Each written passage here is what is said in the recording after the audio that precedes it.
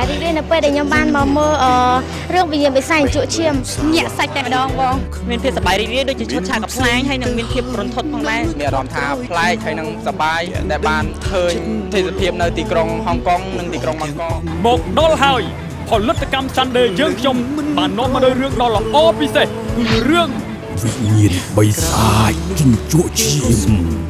មុននឹងចាក់ផ្សាយរឿងនឹងមានការច្រៀងផ្ទាល់ជូនពីលោកខេមរៈស្រីមុននិងតារាល្បីល្បីប្រចាំផលិតកម្ម Sunday ផងដែរព្រោះតែសេចក្តីស្នេហាធ្វើឲ្យមនុស្សពីរនាក់ខ្លាចជាបិសាចជញ្ជក់ឈាមវិញ្ញាណតៃហោងព្រាយអសូរិកាយរឿងអនាថាទាំងអស់មកមកអូវាចូលក្នុងផ្ទះបារាណនោះហើយ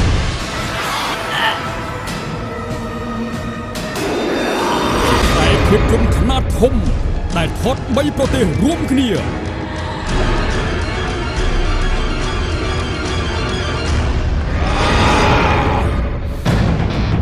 ហេតុអីក៏ឯងមិនស្ដាប់ខ្ញុំ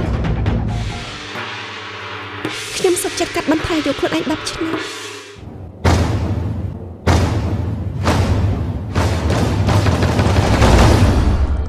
រឿងវិញ្ញាណបិសាចជញ្ជក់ឈាម មានបញ្ចាំងជូនទស្សនាតែ3ថ្ងៃប៉ុណ្ណោះចាំពីថ្ងៃទី1ទី2ទី3ខែមេសាឆ្នាំ2013នេះនៅភោជនីយដ្ឋានសុខសម្បត្តិខេត្តស្ទឹងត្រែងចាំបញ្ចាំងពីម៉ោង7យប់តទៅ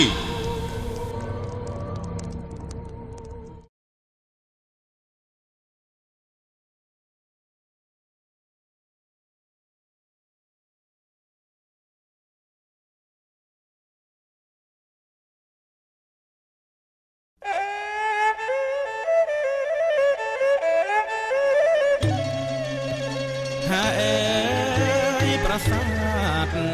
សានស្អាតអរិចចិនណា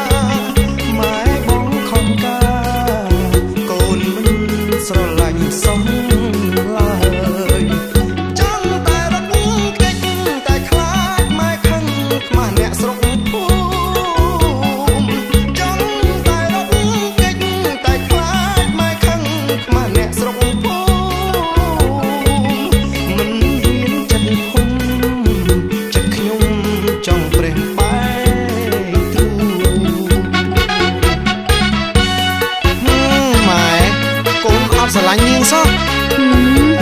តាមតាម៉ែទៅ